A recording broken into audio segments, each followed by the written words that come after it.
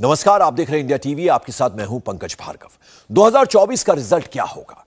अगली दिवाली जब मनेगी तो देश का प्रधानमंत्री कौन होगा? नरेंद्र मोदी वापस आएँगे या कोई और प्रधानमंत्री बन जाएगा? हिंदुस्तान के इतिहास में आज वो दिन आया है, जब दिवाली के दिन आप अगले प्रधानमंत्री की सटीक भविष्यवाणी कर सकते हैं। अयोध्या में सिर्फ़ दीपोत्सव पर रिकॉर्ड नहीं बना, हिंदू वोट बैंक का मूड दिखा। आज हिंदुओं का मिजाज समझ में आया। देश में 80 करोड़ से ज़्यादा हिंदू वोटर हैं। हिंदुओं का सबसे पसंदीदा पर्व दिवाली है। पहली बार राम मंदिर के अंदर रामलला के दर्शन कुछ देर के लिए हुए, जहाँ राम मंदिर बन रहा है। वहाँ आज भक्तों ने जाकर दिए जलाए। जिस राम मंदिर में 22 जनवरी के दिन रामलला की प्राण प्रतिष्ठा होगी, आज वो पहली बार जगमग कर रही थी। टेंट में रहने वाले भगवान राम पहली बार दिए की रोशनी से नहाए हुए भवन में मौजूद थे। इससे ज़्यादा हिंदू क्या चाहता है? 2024 का मंदिर मार्ग खुल गया है। आज योगी आदित्यनाथ ने राम का रथ खींचा है। बाकी काम प्रधानमंत्री करने वाले हैं। आज गली गली अवध सजाएँगे। आज पग पग पलक बिछाएँगे। अयोध्या के इक्यावन घाटों पर 24 लाख दीप। इतना भव्य, इतना अद्भुत दीपोत्सव।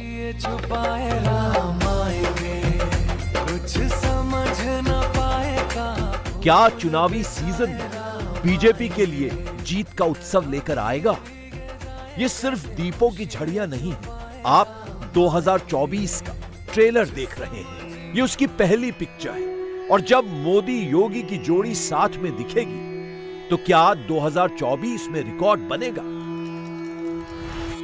गर्व से कहो हम हिंदू हैं। चौदह के बाद देश का मूड ही यही है। इन तस्वीरों को देखकर ये थॉट क्लियर हो गया।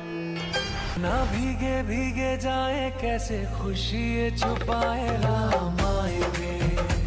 फिर दूसरा गाना आया जो राम को लाए हैं हम उनको लाएँगे तो क्या 24 में मोदी ही एक बार फिर से आएँगे?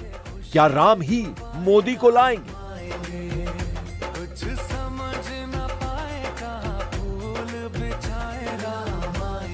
तो आपकी ओर से एक ही आवाज़ आई थी कि योगी जी, एक काम करो और मंदिर का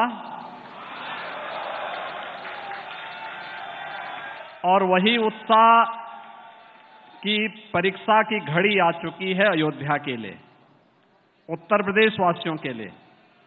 इसलिए आप सब मेरे साथ बोलेंगे बोले सत्य सनातन धर्म की, सत्य सनातन धर्म की सत्य सनातन हिंदू धर्म की, भारत माता की, भारत माता की, सरयू मैया की, सरयू मैया की।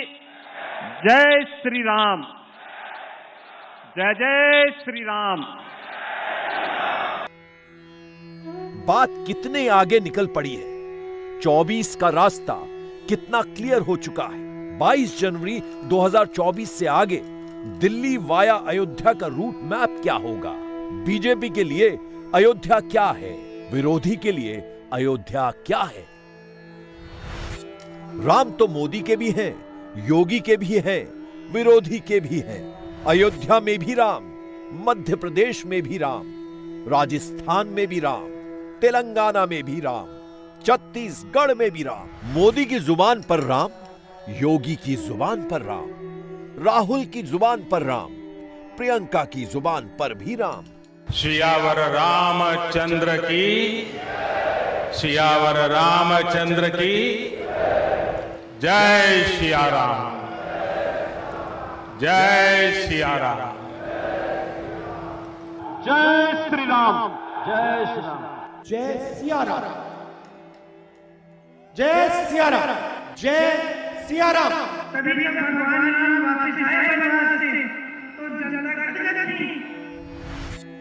क्या मंदिर से ही 24 में तीसरी बार मोदी को मैंडेट मिलेगा?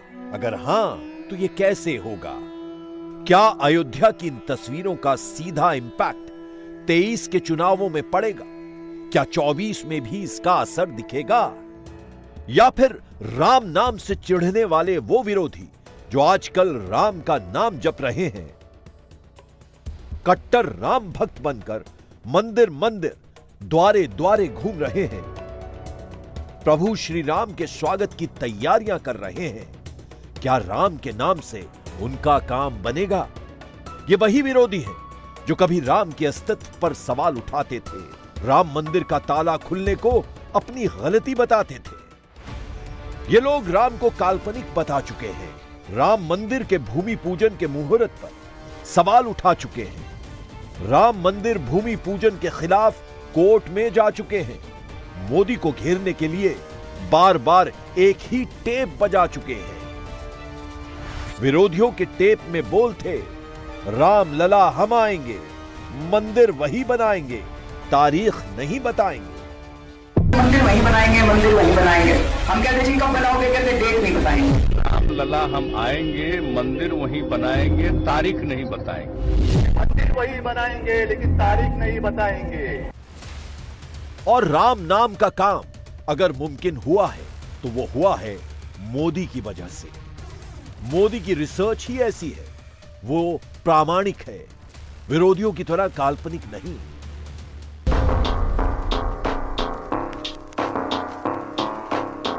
आवाज़ दूर दूर तक जानी चाहिए। जय श्री राम मोदी के 24 वाले रामबाण को समझने के लिए यह डिकोड करना ज़रूरी है कि मोदी ने राम मंदिर को 24 का सबसे बड़ा ट्रंप कार्ड कैसे बना दिया है। 19 में मोदी ने ऐसा क्या कर दिया कि हिंदू वोट एकजुट हो गया? मोदी के पीछे खड़ा हो गया। 2014 के लोकसभा चुनाव में जिस बीजेपी को सिर्फ़ 36 परसेंट हिंदुओं का वोट मिला था 2019 आते आते वो नंबर्स तेज़ी से बढ़ गए और 2019 में 44 परसेंट हिंदुओं ने बीजेपी को वोट दिया। डाटा को और गहराई से डिकोड करने पर पता चलता है कि 19 में उनसठ परसेंट अपर कास्ट हिंदुओं ने मोदी को चुना। चौवन परसेंट ओबीसी हिंदुओं की पसंद मोदी थे। 46 परसेंट ट्राइबल्स हिंदुओं ने मोदी के नाम पर वोट दिया। दलित समुदाय के 41 परसेंट हिंदुओं ने भी मोदी को ही चुना। एक और डाटा के मुताबिक 2019 में देश के चौवन परसेंट हिंदू चाहते थे कि मोदी ही देश के प्रधानमंत्री बने। स्टेट वाइज डाटा देखें तो असम के 70 परसेंट, बिहार के पैंसठ परसेंट, गुजरात के सड़सठ परसेंट, कर्नाटक के अट्ठावन परसेंट मध्य प्रदेश के 60 परसेंट, महाराष्ट्र के बासठ परसेंट, राजस्थान के तिरसठ परसेंट, उत्तर प्रदेश के उनसठ परसेंट, बंगाल के सत्तावन परसेंट, दिल्ली के छियासठ परसेंट, झारखंड के चौसठ परसेंट हिंदुओं ने मोदी के नाम पर एनडीए को वोट दिया। यानी 2014 की ही तरह 2019 में भी मोदी ने हिंदू वोट बंटने नहीं दिया। उल्टे उसमें और ज़्यादा इजाफा किया और इसमें राम मंदिर एक बहुत बड़ा फैक्टर था। इसे हिस्टोरिकल पर्सपेक्टिव से भी समझना ज़रूरी है। उन्नीस सौ चौरासी के चुनाव में बीजेपी ने सिर्फ़ दो सीटें जीती थी। इसके बाद बीजेपी राम मंदिर का मुद्दा लेकर आई। उन्नीस सौ नवासी में राम मंदिर शिलान्यास ने इसे देश का सबसे बड़ा मुद्दा बना दिया और बीजेपी को इसका फ़ायदा नवंबर उन्नीस सौ नवासी के लोकसभा चुनाव में हुआ। चौरासी में सिर्फ़ दो सीटें जीतने वाली बीजेपी को नवासी के चुनाव में राम मंदिर के नाम पर पचासी सीटें मिल गई। 2009 के चुनाव को छोड़ दें तो बीजेपी साल उन्नीस सौ इक्यानवे के बाद से लेकर अब तक कभी भी 20 परसेंट वोट शेयर से नीचे नहीं गई है।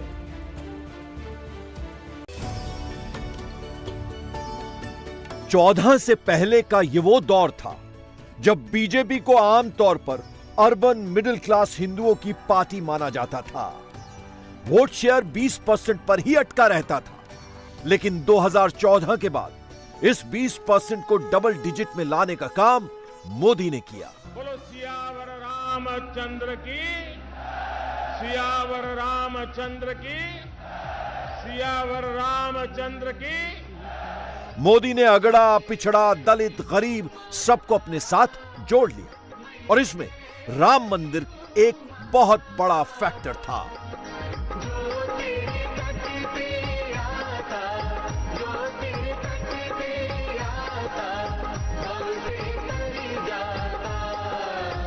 हिंदुत्व की वेव पर सवार होकर 2014 में बीजेपी ने 30 परसेंट वोट शेयर का आंकड़ा पार किया। 2019 में उस वोट शेयर में और इजाफा किया और हिंदी हार्टलैंड राज्यों को पूरी तरह से अपने पाले में कर लिया। इसे जरा आंकड़ों से समझिए।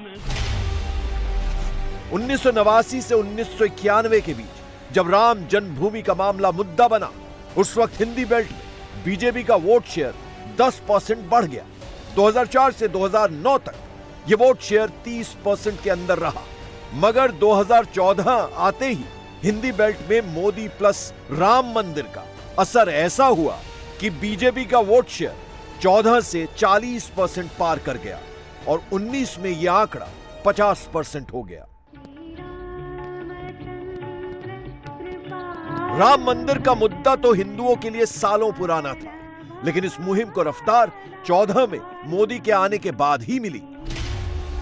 उदाहरण के तौर पर, बाबरी मस्जिद गिराए जाने के बाद उन्नीस सौ छियानवे में देश के सबसे बड़े राज्य उत्तर प्रदेश में जो पहला सर्वे हुआ, उसमें छप्पन परसेंट हिंदुओं का मत था कि अयोध्या में राम मंदिर बने।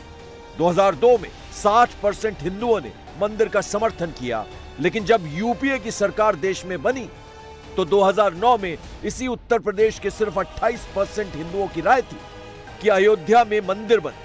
2012 में आंकड़ा 31 परसेंट तक पहुँचा, मगर 14 के बाद मोदी के आते ही ट्रेंड चेंज हो गया और 50 परसेंट से ज़्यादा हिंदू राम मंदिर बनाए जाने के पक्ष में खड़े दिखे। 2019 के एक सर्वे से पता चला कि बीजेपी को सपोर्ट करने वाले हो या विपक्ष को सपोर्ट करने वाले हो, ऐसे करीब उनचास परसेंट लोग राम मंदिर बनाए जाने के पक्ष में थे।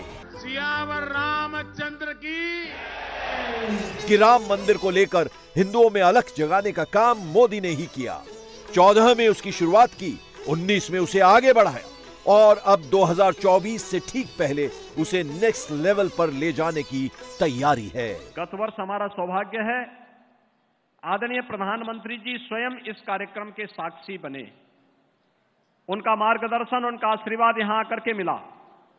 और आज उन्हीं के आशीर्वाद और उनके मार्गदर्शन और नेतृत्व में 500 वर्षों के इंतज़ार को दूर करते हुए अयोध्या में प्रभु राम के राम जन्मभूमि पर भव्य मंदिर के कार्यक्रम को भी हम सब अपनी आँखों से बनते हुए देख रहे हैं और जनवरी माह के इंतज़ार में सभी संत, सभी भक्त, सभी श्रद्धालुजन उस इंतज़ार के लिए अपने आप को तैयार किए हुए वैसे देर से ही सही। राम की याद उस कांग्रेस पार्टी को भी आई, जिसने प्रभु श्री राम के अस्तित्व पर ही सवाल या निशान लगा दिए थे। राहुल प्रियंका से लेकर हर मोदी विरोधी राम को याद करने लगा। मंदिर मंदिर, द्वारे द्वारे घेरने लगा। लेकिन यह सिर्फ़ एक सियासी स्टंट था।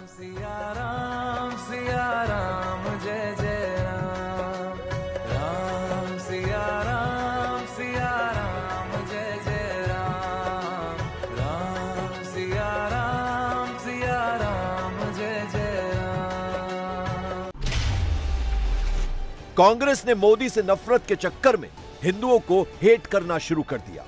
एक तरह से कांग्रेस को राम राम राज्य, रामायण वाला फोबिया हो गया। एक वक्त में तो राम नाम से कांग्रेस को इतनी दिक्कत हो गई थी कि कोई भगवान राम का नाम तक ले ले तो कांग्रेस उसे संघी का सर्टिफिकेट दे देती थी, कम्युनल बताने लगती थी, हिंदुत्व का एजेंट डिक्लेयर कर देती थी।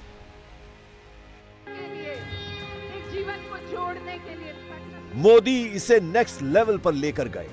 बीजेपी ने हिंदुओं को एकजुट किया, उनके सेंटिमेंट को टच किया और राम के नाम को मोदी ने हिंदुस्तान का सबसे बड़ा पॉलिटिकल फोर्स बना दिया। चुनाव जीतने का मंत्र बना दिया। मुझे बताओ जरा ज़ोर से, कल दीपावली है फटाका जलाओगे? जरा ज़ोर से बोलो फटाके जलाएँगे ना? दीप जलाएँगे ना। मगर इस बार मध्य प्रदेश में तीन बार दीपावली मनाना है। अरे मनाएँगे, कह देते हो बदनावर वालों, मगर क्यों मनाएँगे मालूम है? मैं बता देता हूँ, पहली दीपावली दीपावली के दिन मनानी है। दूसरी दीपावली तीन दिसंबर को भाजपा सरकार बनाकर मनानी है। और तीसरी दीपावली 22 जनवरी को अयोध्या में राम लल्ला की प्राण प्रतिष्ठा कर कर मनानी है। कांग्रेस भले ही 14 और 19 में मुँह की खाने के बाद अब जाकर राम नाम का जप कर रही हो। लेकिन राम के वजूद को नकारने वाली कांग्रेस को लोग अभी भूले नहीं हैं।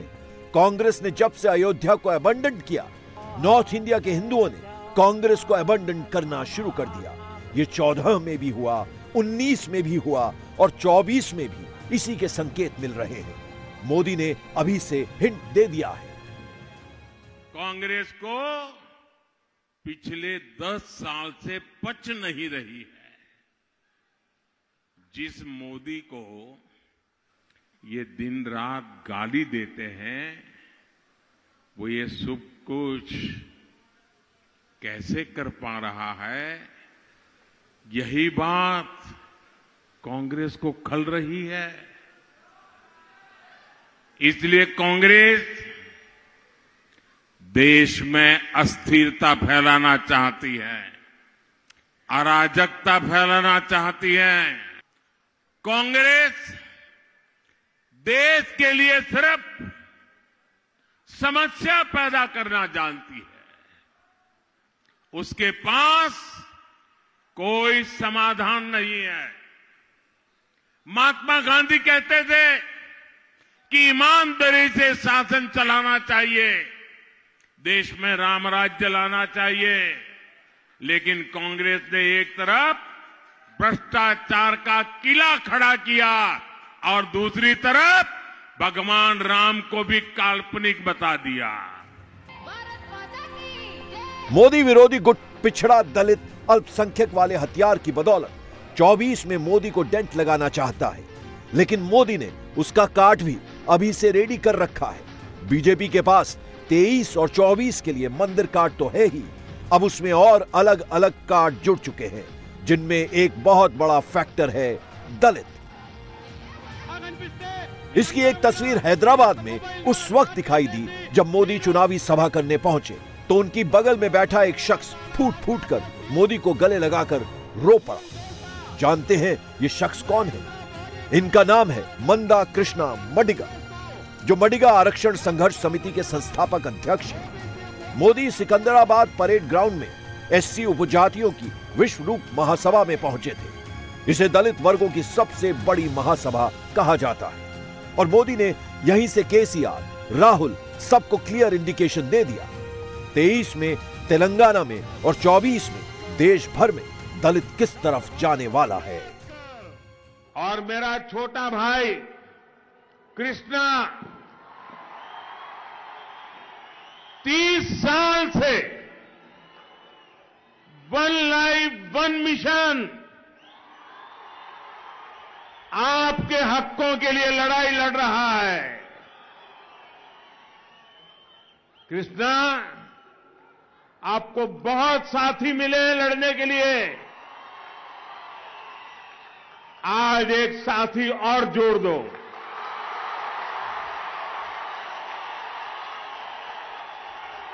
मादिका समाज के मेरे भाइयों, बहनों और कृष्णा, मैं आज आपसे कुछ मांगने के लिए नहीं आया हूँ।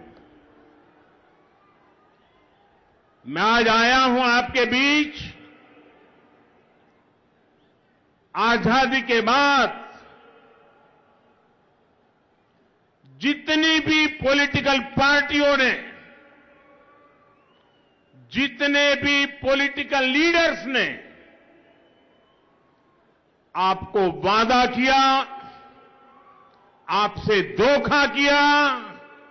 मैं आज एक पॉलिटिकल बिरादरी का व्यक्ति होने के नाते उनके पापों की क्षमा मांगने के लिए और उनके पापों का प्रायश्चित करने के लिए आया हूँ। कौन भूल सकता है कि कांग्रेस ने किस तरह तेलंगाना के निर्माण में बाधाएँ खड़ी की थी? लेकिन जब अनेक बलिदानों के बाद तेलंगाना बना तो बीआरएस के नेता आपको भूलकर सबसे पहले कांग्रेस के नेताओं को धन्यवाद करने गए। आंदोलन के दिनों में आपसे वादा किया गया था कि किसी दलित को ही तेलंगाना का पहला सीएम बनाया जाएगा। लेकिन राज्य के निर्माण के बाद हर दलित आकांक्षाओं को कुचलते हुए सीएम की कुर्सी पर केसीआईआर ने कब्जा कर लिया। मोदी अब फ्रंट फुट पर खेल रहे हैं। चुन चुनकर कांग्रेस का कैरेक्टर भी पब्लिक के बीच एक्सपोज कर रहे हैं। और इंडिया अलायंस का कच्चा चिट्ठा भी खोल रहे हैं। मोदी नॉन स्टॉप हमलावर है। तभी तो बिहार में इंडिया अलायंस के सीनियर नीतीश बाबू ने एक महादलित और बिहार के पूर्व सीएम से तू तड़ाक की। मोदी ने उसे सीधे सीधे अति दलित सेंटिमेंट से जोड़ दिया। विपक्ष की कथनी और करनी का फ़र्क पब्लिक के बीच बता दिया। कांग्रेस ने इन दिनों जिस इंडी एलायंस का छाता खोल रखा है, उसमें बिहार के मुख्यमंत्री जो आजकल जातिवाद राजनीति का झंडा लेकर घूमते हैं, मुझे याद है उन्होंने मेरे करीबी दोस्त और दलित नेता रामविलास पासवान जी का लगातार अपमान किया था। यहाँ तक कि जब रामविलास पासवान जी को राज्यसभा सीट की बात आई थी तो वो भी समर्थन देने में आनाकानी कर रहे थे। मैंने रामविलास पासवान जी के बेटे चिराग पासवान में इस दुख को हमेशा महसूस किया है। अभी हमने दो दिन पहले ही देखा है कि बिहार के उन्हीं सीएम ने विधानसभा में सदन के फ्लोर पर एक और दलित नेता का, वहाँ के पूर्व मुख्यमंत्री, पूर्व सीएम का अपमान किया है। वहाँ के पूर्व सीएम जीतन राम मांझी जो दलितों में भी अति दलित हैं, जिन्होंने अपने जीवन में बहुत ही संघर्ष किया है, उनको बिहार के सीएम ने बड़े सदन में बुरी तरह अपमानित किया। बहुत ही निर्लजता के साथ जीतन बाबू को ये जताने की कोशिश की गई कि वो सीएम पद के योग्य नहीं थे। ये अहंकार की भावना, दलितों का पान करने की भावना, कांग्रेस और उसके सहयोगियों की पहचान है। यानी राम मंदिर से लेकर दलित, ओबीसी, गरीब वर्ग तक, मोदी ने सारा समीकरण सेट कर लिया है। साउथ में भी तैयारी पूरी कर ली है। कर्नाटक में येदियुरप्पा के बेटे को बीजेपी की कमान सौंप दी। और तय मानिए, अगर साउथ में मोदी का वोट बैंक मज़बूत हुआ तो 24 में नंबर्स 19 से कहीं ज़्यादा बढ़ जाएँगे विरोधी अगले 10 सालों के लिए रास्ते से साफ़ हो जाएँगे